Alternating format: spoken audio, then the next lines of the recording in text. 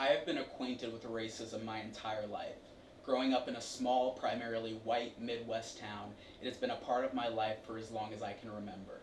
Whether it's being called a nigger in the hallways or having my hair pet like I'm a dog, I have experienced my fair share, as has the vast majority of the black community. While I have been familiar with racism for my entire life, something I have only recently become acquainted with is fear specifically fear that I will be killed because of the color of my skin by the people who have sworn an oath to protect me.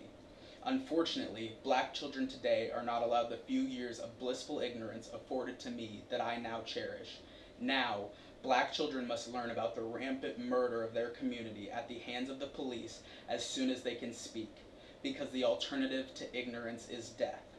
The alternative is these children lacking the knowledge to even have a chance of staying alive when dealing with a police force that automatically sees you as a threat, no matter how young or blissfully ignorant you may be. So I ask you, how long until our children are no longer born with a target on their backs? It seems like every day we have to wake up and decide if we are going to endure the pain of watching the unjust murder of another black man or if we stay ignorant. As I said before, ignorance is death.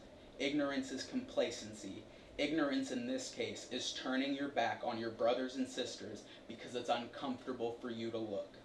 Well, if you're uncomfortable, at least you're not dead. So we must always endure the pain. We must always endure uncomfortability. We must always endure the fear until there is no more reason to be afraid.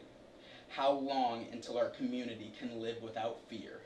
Alongside fear is a near equal amount of anger anger caused by the fact that oftentimes not even multiple videos from multiple angles and multiple witnesses is enough evidence to charge and convict a cop of murder. We are not even allowed the satisfaction of seeing these vicious murderers brought to justice. Instead, if we are lucky enough to see them charged, we get to watch as they are defended unashamedly by their fellow officers, have excuses made for them by politicians, the media, and the general public. Then we watch as they are acquitted and allowed to continue their violent tendencies within the same department or at worst in a precinct just a town or two away. How long until a cop seen murdering someone on camera is enough to guarantee that charges are brought and a long sentence is passed down? This is not an issue of a few bad officers. The issue is with the system the police force is based on. It was built from its very inception to harass intimidate, and do harm to the black community. Even if all of these good cops champion for reform, abuses of power and murder at the hands of the police would continue. A building must be torn down before any changes can be made to its foundation. We are not waiting any longer for justice. We will no longer twiddle our thumbs and hope things change with the next election. The rights of black Americans should not come and go with the tide of politics. It is essential that we move forward and never allow ourselves to be pushed back.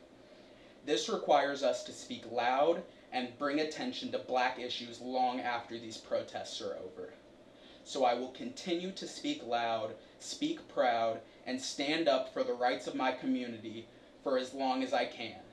Because after all, how long until it's me?